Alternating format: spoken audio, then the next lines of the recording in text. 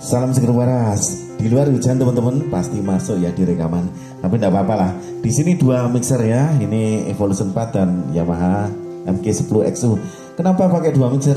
Alasan yang pertama kita ingin menambah input mic ya. Mungkin karena banyaknya mic kita butuh input mic. Yang kedua, mungkin kita butuh efek yang nyes atau lebih dari mixer yang kita sambungkan. Nah, caranya sekarang bagaimana menghubungkan dua mixer ini? Kalau dua mixer dihubungkan berarti yang mixer utama atau mixer ini nanti yang pegang peranan ya. Kemudian kalau yang dihubungkan yaitu ini mixer sub apa sub mixer ya. Ini yang kita masukkan ke sini. Nah caranya ini ada beberapa fitur, tapi kali ini saya tunjukkan dengan fitur yang ada di sini kebetulan ini yang Evo punya fitur RCA dan yang di MG10X juga punya fitur RCA. Di mixer Evo ini RCA-nya ada di channel 3 dan 4 ya. Hanya susunnya di sini. Yang sebelah kiri ini LR putih semuanya, kemudian yang sebelah kanan itu LR tapi yang merah ya. Ini semuanya adalah rec out. Jadi untuk suara keluar. Bedanya kalau yang di MG10XU ini, ini channel 5 dan 6, ini langsung RCA-nya ada L dan R ya, putih dan merah ya. Kalau yang tadi kan putih-putih, baru di channel berikutnya itu merah-merah. Kemudian ada juga di channel berikutnya 78 ini sama yaitu channel yang di 78 itu ada ya putih dan merah atau L dan R ya. Karena ini sama-sama fitur RCA, kita butuh cek RCA yang merah dan putih ya. Itu yang dipakai untuk menghubungkan. Cara pertama, ini saya mengambil yang mixer saya hubungkan ini RCA yang di channel 3 itu yang L channel 4 yang R. Kemudian ini kita sambungkan ke channel 5 dan 6 di sini ya. Nah, di sini channel 5 saya ambil L-nya ya, kemudian channel 6-nya saya ambil R-nya. Kalau ini 3, ini 5, ini 4, ini 6. Dan suara yang kalian dengar ini sambungan mixer yang di sini ke mixer yang utama. Cek 1 2 3, dicoba. Kalau saya pakai channel 7 dan 8 ya tinggal pindah di sini. Ini yang nomor 7 itu yang L, kemudian nomor 8 yang R. Yang di sini nomor 3 L, yang nomor 4 R. Nah kalau kita menghubungkan dua mixer, setting di mixer pertama kita atur dulu ya. Misalkan microphone-nya ini di mixer yang kecil ini ya, kita atur dulu. Terserah nih mau ngaturnya settingnya bagaimana ya? Mau ditambah cas-casnya boleh ya di sini. Kecilin boleh kerasin boleh. Cek 1 2 3 ya kalau ini sudah pas ini tanpa efek ya. Kemudian baru kita ya buka yang di sini. Ini sudah terbuka ya di channel 5 dan 6 ini ya. Ini volumenya. Saya kecilin bisa saya kerasin juga bisa. Kalau kita tambahkan tone control ada di sini ya ini tinggal tambah bass begini 1 2 3 kalau kecilin ya begini tambahin cas-casnya 1 2 3 ah, feedback. Nah ini baru kita atur. Kalau yang di sini sudah fix. Untuk volume ya di sini yang kecil saya taruh di jam 15 ya. Kemudian yang di sini juga jam 15 ya.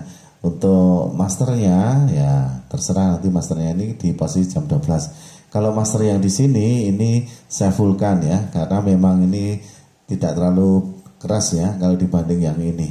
Nah, ini cara kita setting untuk mixer yang akan kita masukkan sini. Sama-sama belum ada efek ya. Kalau kita buka efeknya, mau efek yang mana? Ini saya tutup efeknya.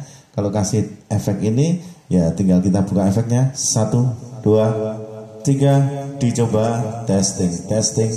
Satu, dua, tiga. Ini pakai efek yang di Yamaha. Efek yang sini saya matiin. Saya buka misalkan efek di sini. Satu, dua, tiga. Dicoba. Kita buka efeknya. Satu, dua, tiga. Dicoba. Jenis efeknya beda ya. Ini kalau kita menggunakan efek yang mixer kecil ya.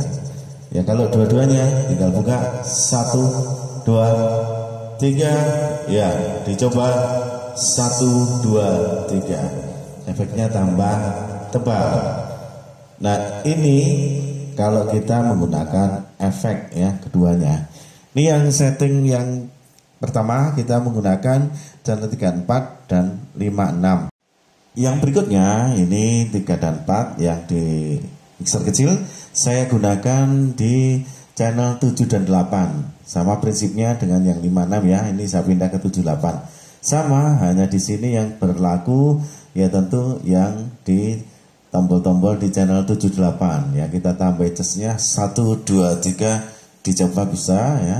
Tambah low nya 1 2 3 dicoba juga bisa. Nah kalau kita efek dari sini 1 2 3 dicoba. High low high low test low high low high ya sama kalau dikasih efek yang dari sini cek. Satu. Dua. Tiga. Ya, ini efek dari yang kecil ya.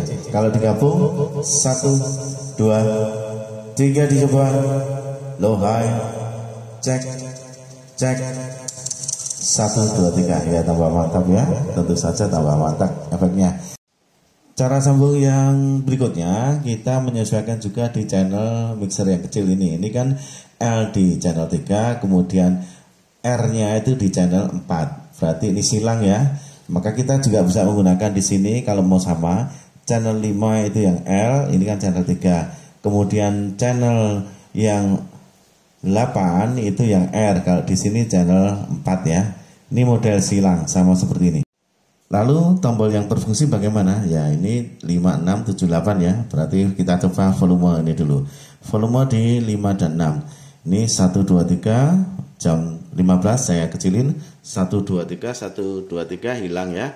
Ya, saya kembalikan lagi yang jam 15. Bagaimana yang 78? Ini 78. Ini ya, saya kecilin 1 2 3 1 2 3 ya, tetap bunyi ya.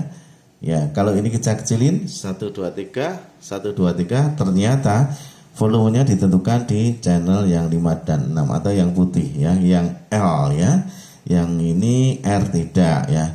Berarti yang L ini sekaligus yang menjadi sumber mononya ini juga ya. Coba kalau kita cabut yang merah 1 2 3 ya. Tetap bunyi ya. Ini kita cabut yang merah 1 2 3 tetap bunyi ya. Cek 1 2 3. Ya, ini ke sini. Ini yang ke sini. Ya, tetap bunyi. Cek 1 2 3. Model silang tetap bunyi. Kalau yang ini disilangkan, kita coba saja ya. Ini yang ke sini. Ini yang ke sini. Sama, disilangkan sesuai yang kecil, tetap bunyi. Sekarang kita ambil yang channel 3 itu yang L saja ya, yang putih. Kemudian yang channel yang di sini 56 ini saya ambil yang channel 5 itu yang putih yaitu L saja bunyi. Cek 1 2 3 bunyi ya. Kalau mau yang lebih keras lagi, seperti ini settingannya. Untuk yang 3 dan 4 ini kita ambil L semuanya ya. L biasanya itu kan mono ya. Kita ambil L semuanya, masuk ke mixer ini. Tapi yang di sini kita ambilkan channel 5 dan 6, itu ambil yang L dan R seperti ini ya. Maka suaranya akan tambah keras ya. Karena yang masuk di sini ini sekaligus mono. Mau di kanan kiri ya, seperti ini bunyi di kanan kiri bunyi semuanya. 1 2 3 dan ini lebih keras dibanding kalau kita hanya menggunakan satu seperti ini. Satu dua tiga. Nah ini kan tidak terlalu keras kalau kita bandingkan menggunakan L semuanya untuk channel 5 dan eh, channel 3 dan 4 ya. 1 2 3 lebih keras ya. Kalau mixer utamanya kita pakai channel 78 dengan model yang ini channel 3 dan 4 ini L semuanya ya lebih keras ya tetap hanya di channel yang berbeda ini channel 78 ya Tadi kan 56. Kalau misalkan kita silang juga bisa seperti ini ya. Ya suaranya juga kenceng ya juga silang seperti ini. Ya kalau mau silang seperti ini juga bisa. Iya, ya silang seperti ini dan suaranya juga tetap kenceng ya. Asalkan kita menggunakan yang L semuanya untuk 3 dan 4. Kalau kita ambil salah satu tidak bunyi ya. Misalkan yang putih. 1 2 3 Oh kecil ya bunyinya tidak terlalu keras. Ya kita masukkan lagi. 1 2 3 kalau kita ambil yang ini saja. 1 2 3 ya tidak bunyi ya. Nah, tidak bunyi. 1 2 3 ya tetap harus menggunakan yang seperti ini. Kalau L nya kita menggunakan yang channel 3 ini kita cabut ya. Satu nah bunyi kan? Ya seperti ini. Ini dipindah sini. Nah ini baru bunyi Jadi untuk L-nya sama-sama putih ini sama-sama L. Baru bunyi. Yang ini dicabut pun juga tetap bunyi ya. Dan suaranya keras ya. Dibanding dengan yang ini tadi, kalau ini dua-duanya ya ada penambahan sedikit yang lebih keras ya.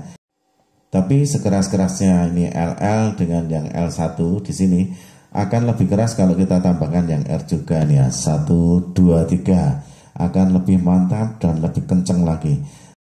Jadi untuk menyambungkan kedua mixer kalian bisa menggunakan fitur RCA semacam ini dengan cara menghubungkan jack RCA model yang sudah saya jelaskan seperti tadi ya. Selain menambah suara lebih kenceng, yang kedua kita bisa menambahkan efek yang di channel kecil tidak ada atau bahkan kalian ingin menggabungkan efek kedua mixer ini. Oke, dulu semuanya. Semoga info yang sedikit ini bisa memberikan manfaat dan kita tetap akan membuat video-video yang bermanfaat. Sampai ketemu di video selanjutnya. Matur nuwun, salam seger.